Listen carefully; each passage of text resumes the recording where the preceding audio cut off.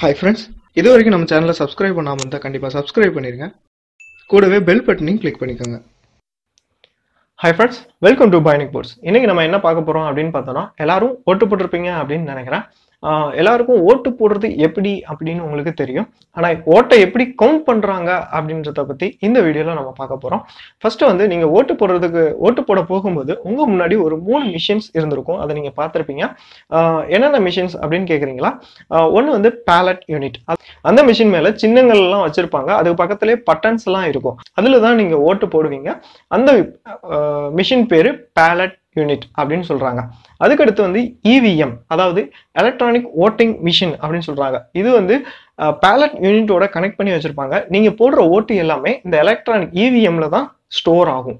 இந்த EVM மிஷின்ஸோட life time அப்படின்னு பார்த்தோன்னா ஃபிஃப்டீன் இயர்ஸ் இருக்கும். அந்த ஃபிஃப்டீன் இயர்ஸ்க்கு ஒரு டைம் இதை வந்து ரீஸ்டோர் பண்ணுவாங்க. ஏன்னா அதில் இருக்கிற ப்ரோக்ராம்ஸோ இல்லை ஐசியோ ஏதாவது ஒன்று வந்து கிராக் ஆகிடும் அப்படின்றதுனால அதோட லைஃப் டைம் வந்து ஃபிஃப்டீன் இயர்ஸாக வச்சுருக்காங்க. ஃபிஃப்டீன் இயர்ஸுக்கு ஒரு டைம் இதை மாற்றுவாங்க அப்புறம் மூணாவதாக ஒன்று நீங்கள் பார்த்துருப்பீங்க.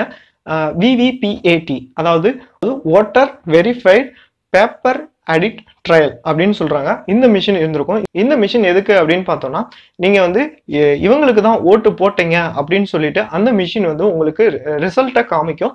நீங்க அதை பார்த்துட்டு வெரிஃபை பண்றதுக்காக இந்த மிஷினை வந்து வச்சிருக்காங்க. ஓகே இந்த ஓட்ஸ் எல்லாம் எப்படி கவுண்ட் பண்றாங்க அப்படின்றத நம்ம பார்க்கலாம். ஃபர்ஸ்ட் வந்து இந்த இவிஎம் மிஷினை வந்து என்ன பண்ணுவாங்கன்னா சீல் பண்ணி ஆஹ், ஒரு பாக்ஸுக்குள்ள வச்சு சீல் பண்ணி கொண்டு போயிடுவாங்க அதுக்கப்புறம் கவுண்ட் பண்ற நாளுக்கு தான் அதை ஓப்பனே பண்ணுவாங்க.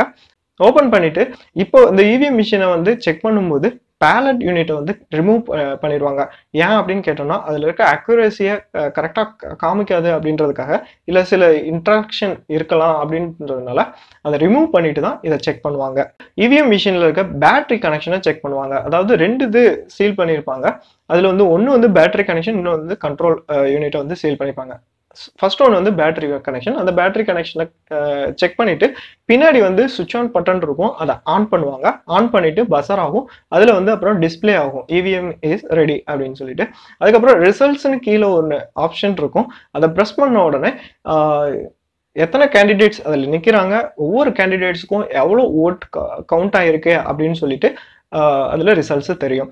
ஓகே ஃப்ரெண்ட்ஸ் இந்த தகவல் உங்களுக்கு ரொம்ப யூஸ்ஃபுல்லாக இருக்கும் அப்படின்னு நினைக்கிறேன். இந்த வீடியோ பற்றின கமெண்ட்ஸை கீழே கமெண்ட் பாக்ஸில் கமெண்ட் பண்ணுங்கள் இது வரைக்கும் பயணி போர்ட்ஸ் சேனலை சப்ஸ்கிரைப் பண்ணாமல் இருந்தால் கோச்சிக்காமல் சப்ஸ்கிரைப் பண்ணுங்கள் until then it's bye from Karthik okay friends இந்த தகவல் உங்களுக்கு ரொம்ப யூஸ்ஃபுல்லாக இருக்கும்னு நினைக்கிறேன். இந்த வீடியோ பிடிச்சிருந்தா கண்டிப்பாக லைக் பண்ணுங்கள் கமெண்ட் பண்ணுங்கள் ஷேர் பண்ணுங்கள் மறக்காமல் சப்ஸ்கிரைப் பண்ணுங்கள்